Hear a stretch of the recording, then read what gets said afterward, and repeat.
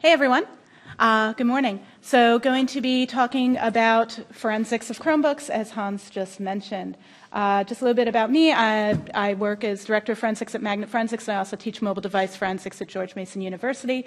Um, that is a really old picture of me, like 20 years ago. And um, I also did all this work uh, with our CTO, Jad Saliba, so we did this research together. Uh, so, what are we going to be talking about today? We're going to be talking a little bit about what Chromebook operating system is, why we care about it, what issues we have in the analysis of Chromebook forensics, uh, what we learned in this, what we can recover, uh, a lot about how it compares to uh, data you may be able to get via other methods, and what the differences are. And then we'll wrap it up. So, what is a Chromebook? Uh, for those people who aren't familiar, Chromebooks are a computer that has an operating system of Google Chrome OS. Uh, Chrome, oh, Chromebooks actually are on prescribed hardware that Google approves. It's been around since 2011. It's a Linux based operating system, and it's designed to be used when connected to the internet. Um, they are very economical, which is one of their major selling points, ranging from 150 to $999. Um, and there are two different operating systems that can exist in this ecosystem. So, true Chromebooks have the Chrome operating system.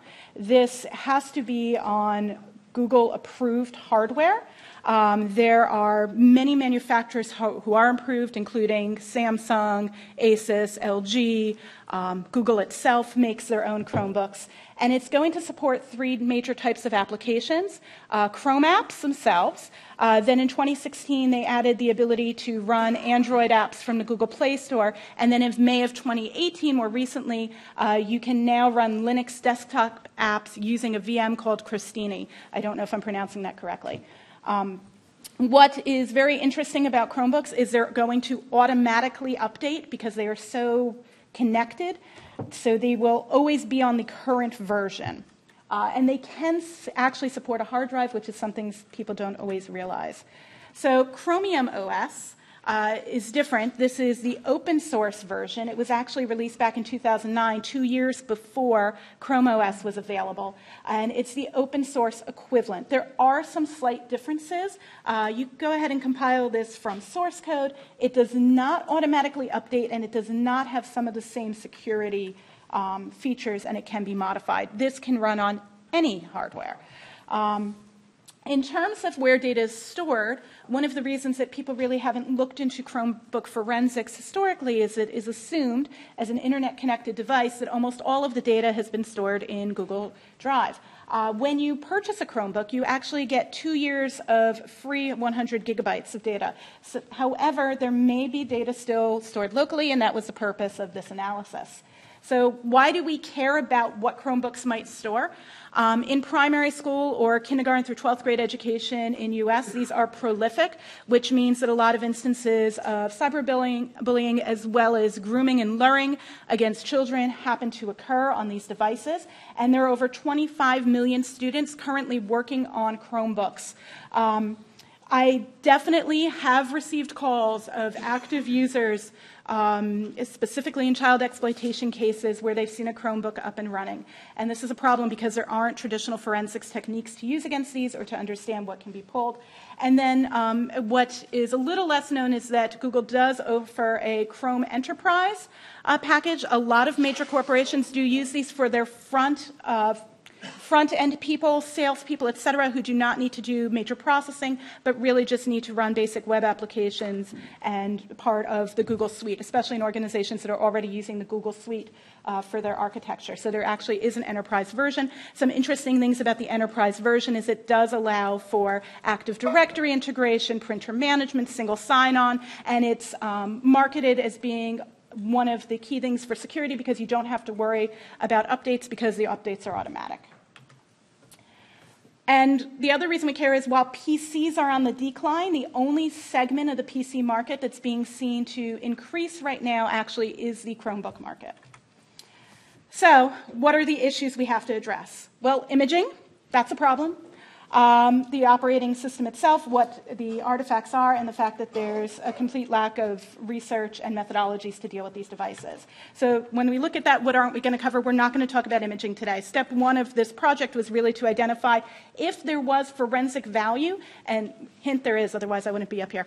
Is there forensic value in actually looking at the data on Chromebooks um, and when we go into acquisition, it becomes really interesting because there's such a diversity of hardware. Um, it, in many ways, the way I think about it is it would be like saying, hey, can you make an acquisition technique that works on all encrypted Androids? Right? That's really the uh, equivalent. So what are we going to talk about? We're going to talk about operating system and data recovered, and we're going to answer the question is it really worth solving the encryption problem and the acquisition problem if everything's in the cloud anyway? Hint, it's not. So, how did we get these images then? Um, for the testing purposes, these were all done in a uh, Chromium VM uh, and then uh, in developer mode. When you are in developer mode, you will have a shell. If the device is not in developer mode, you won't have a shell. So the win is if, if the bad guy happens to be in developer mode, you can get a shell and you can get a full acquisition. You're probably not going to run into that situation. Well, hey, Jess, he says kind of like Android. Can I just put it in dev mode and get an acquisition? Yes, but you're going to wipe all the user data. So don't do that. Okay. Um, on older devices, there's actually a switch, a physical switch under the battery compartment. On newer devices, you would follow these commands. But don't do it because you're going to wipe the device, unless you're setting it up to do test acquisitions. Um, so Chromium OS, we know it's Linux-based, and we know that it doesn't have those same security features. So let's talk about what we're actually going to find.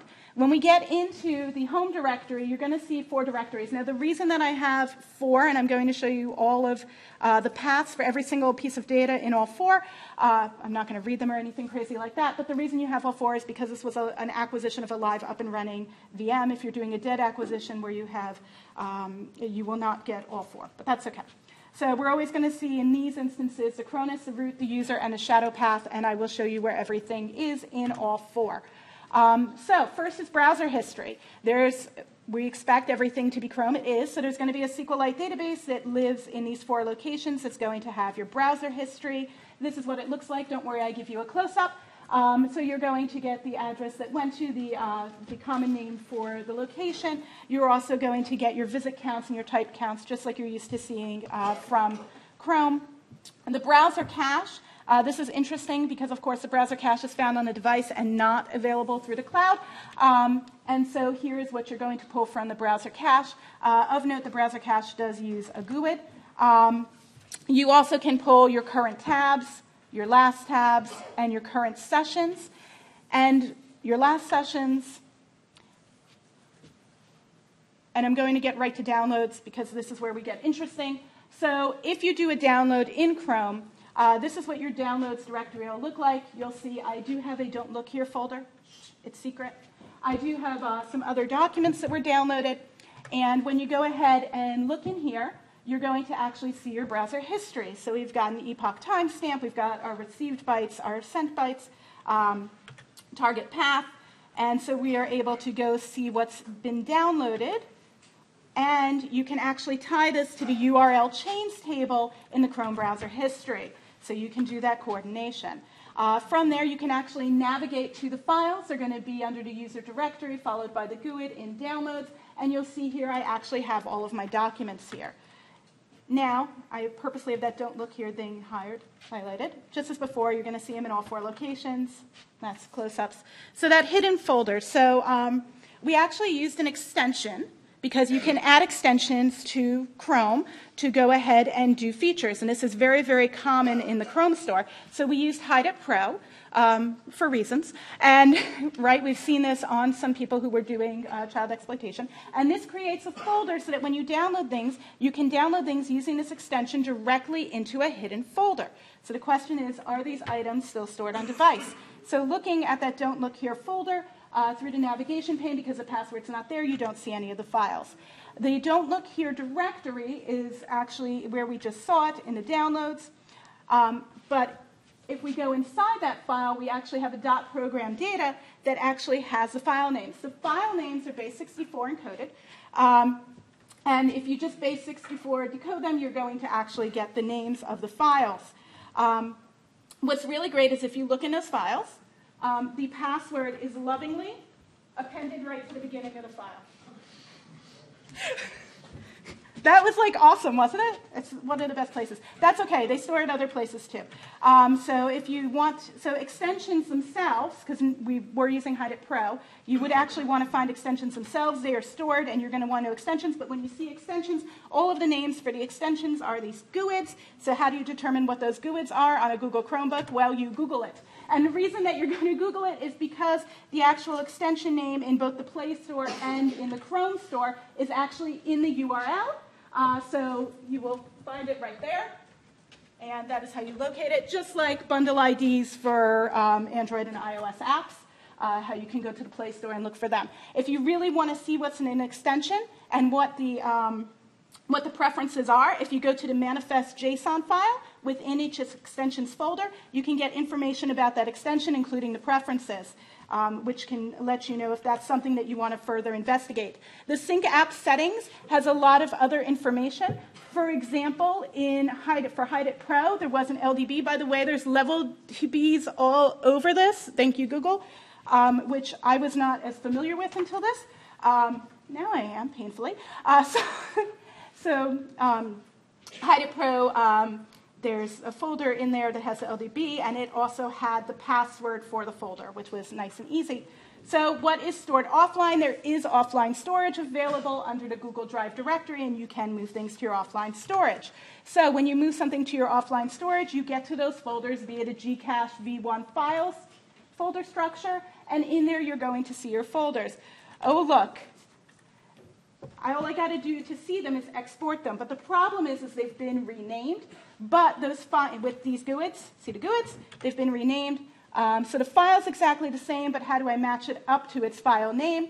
Well, in the Gcache v1 meta folder, there is another lovely level DB that allows you to go ahead and coordinate that. Uh, there is um, a, a, free tool called FastoNoSQL, which is a PITA, um, a pain in the rear uh, to go ahead and look at level DBs. That said, um, I was actually talking to Mark McKinnon uh, about this, and he actually just created a quick little tool, uh, which I didn't put in the slides. I apologize if you want uh, a link to that. I'm happy to share that with you. Shell usage. Of course, because this was already in dev mode, if you find it in dev mode, you may want to know what commands have been ran in the shell, and you can find that in the .bash history file. Please do not get confused uh, with the uh, .crosh file. The .crosh file is a list of all commands available, not the actual history file. So you're going to want to look at bash underscore history instead, uh, and that will give you a full listing of all of the lovely commands that have been ran in order.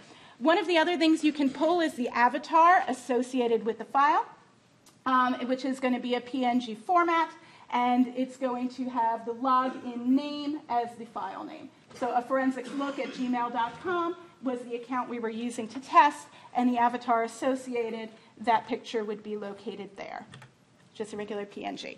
So where are we in terms of what's the difference between the data that we can acquire from the device itself versus if we were to look either at a cloud acquisition or takeouts acquisition, because that is, is there value to continuing to pursue acquisition? Well, there's actually quite a few differences. So browser history is going to be the same. Um, browser cache, not available in a takeout or in the cloud. You're going to need uh, a Chromium acquisition. Browser current tabs, last tabs, and current sessions and last sessions is kind of weird because it can be inferred from the, from the history. Uh, downloads are going to be available only on the device not in your takeout. So downloads, browser history. Um, the hidden folder, we could not uh, see that in our takeout, but we could get it on device. The offline storage, we had to get from the device. The shell history, that one's kind of obvious. Um, the avatar is weird. I have a question mark here. I was able to find the image. The naming is different, and I can't correlate it the same way. I've got to figure out how that's correlated. Pictures, I have an asterisk here. Um, I found the same images with the same content, but they, the naming had changed between the takeout and the Chromium. I'm not sure why. Um, and there were some additional pictures in each. The counts weren't exact, so they did not exactly match. So I would advocate for uh, doing both, and especially because task lists we did not find on device, but we did find in the takeout. Um, so there are reasons to make sure to do both. Um, as I mentioned, the, uh, or maybe I didn't mention it, but the browser history is actually in the same format um, as it typically is for all Chromium-based um, uh, browsers. So I spoke to Ryan Benson, gave him the paths. They could add it to Hindsight. So if you do have an image, Hindsight, which is uh, a free open source tool for par- parsing browser history, will go ahead and parse that. So that brings us to what we do need to do next, which is now that we know that there is valuable information we can get off of Chromebooks that we can't necessarily get if we just have the login free a, a takeout um, or cloud acquisition either or. We really need to both develop a method to image Chromebooks as well as a method to decrypt them. So, in summary, Chromebooks and Chromium OS are going to become more common, and you may see them in your investigation. We need methods to acquire. We need to understand how that data is stored and what you can gain from looking at it, and that Google Cloud acquisitions may be your friend when you can't get into these devices in the interim.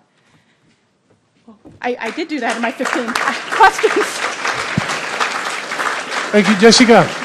Very interesting. Lots of further research. Anybody here that is already imaging Chromebooks? Might speed up the research. Oh, so one. Has anybody seen any Chromebooks? Maybe you didn't image them, but has anybody seen Chromebooks on cases? Yep. Oh, wow. Okay. So I've got at least 12 hands went up for seeing them in cases. Um, that's, that, that, and there's lack of research. So I hope this was of value to you. Okay. Thank you. Thank you.